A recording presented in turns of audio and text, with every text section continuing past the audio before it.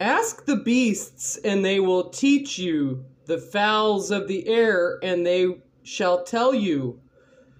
Or speak to the earth, and it will teach you, and the fishes of the sea will declare to you.